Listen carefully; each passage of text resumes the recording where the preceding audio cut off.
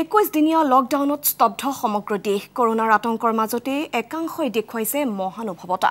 ভোকে লঘোণে থকাজনক খাদ্যৰ যোগান ধৰিলে হৃদয়বান লোক তথা আৰক্ষীয়ে। সংকটৰ সময়ত সহায়ৰ হাত আগবঢ়াই মহানুভৱতা দেখুৱালে আৰক্ষীৰ লোকৰ লগতে বিভিন্নজনে। লকডাউন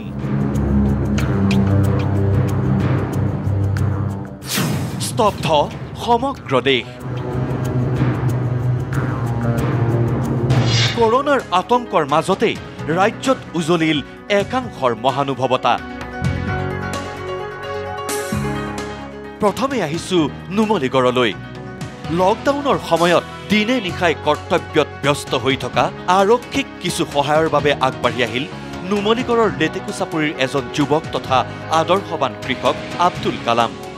নিজৰ কৃষি পথাৰৰ পৰা লাও বেঙেনা কবি বিলাহী আলু আদি প্ৰদান কৰিলে নুমলীগড় আৰক্ষী চকীত। সহায়ৰ হাত আগবঢ়ালে জটিল সময়ত দিনে নিশাই কৰ্তব্য কৰা আৰক্ষীসকলক। লকডাউনৰ পাঁচটা দিন উকলি যাওঁতেই হাহাকাৰ লাগিছে সাধাৰণ লোকৰ মাজত। এনে দুৰ্যোগৰ সময়ত ৰহা দীঘলীয়াটিত এক নিদৰ্শন দাঙি ধৰি স্থানীয় যুৱক মফিদুল ইছলামে আগবঢ়ালে সহায়ৰ হাত। শনিবাৰে প্ৰায় ডেৰ শতাধিক সাধাৰণ কৃষিজীৱী লোকলৈ চাউল আলু ৰঙালাও চাবোন শাক পাচলি নিমখ মিঠাতেল বিস্কুট মচুৰ দাইল আদি বিতৰণ কৰে। যুৱকজনৰ এনে প্ৰচেষ্টাক সকলোৰে আদৰণি।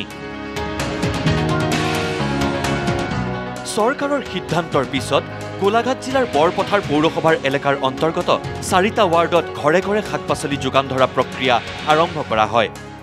নিৰ্ধাৰিত মূল্যত নগৰখনৰ চাৰিটা ৱাৰ্ডত সকলো শ্ৰেণীৰ লোকে যাতে শাক পাচলি লাভ কৰিব পাৰে তাৰ প্ৰতি লক্ষ্য ৰাখি বৰপথাৰৰ পৌৰপতিয়ে সমগ্ৰ প্ৰক্ৰিয়াটো তদাৰক কৰে।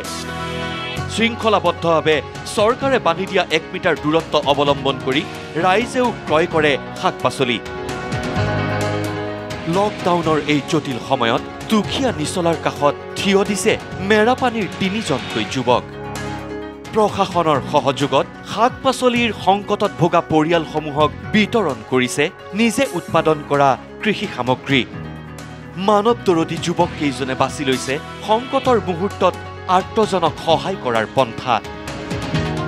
একেদৰে মৰাণ আঞ্চলিক ব্যৱসায়ী সন্থা আৰু প্ৰশাসনে শনিবাৰৰ পৰা আৰম্ভ কৰিছে ঘৰে ঘৰে শাক পাচলি দিয়াৰ ব্যৱস্থা। দহখন ঠেলাৰে বিভিন্ন প্ৰকাৰৰ শাক পাচলি যোগান ধৰিছে চাৰিশৰ পৰা পাঁচশটা পৰিয়ালক। ডিমুৰ চৰগুৱাত কৈৱৰ্ত ছাত্ৰ সন্থাৰ শিৱসাগৰ জিলাৰ সমিতিৰ সহযোগত চৰগুৱা আঞ্চলিক সমিতিয়ে শনিবাৰে পঁয়ত্ৰিছটা দৰিদ্ৰ পৰিয়ালক বিতৰণ কৰে খাদ্য সামগ্ৰী।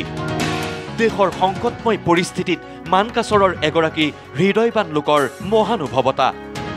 তিনিদিন ধৰি দুখীয়া নিচলা পৰিয়ালক বিনামূলীয়াকৈ এই লোকজনে বিতৰণ কৰিছে চাউল দাইলকে ধৰি বিভিন্ন অত্যাৱশ্যকীয় সামগ্ৰী।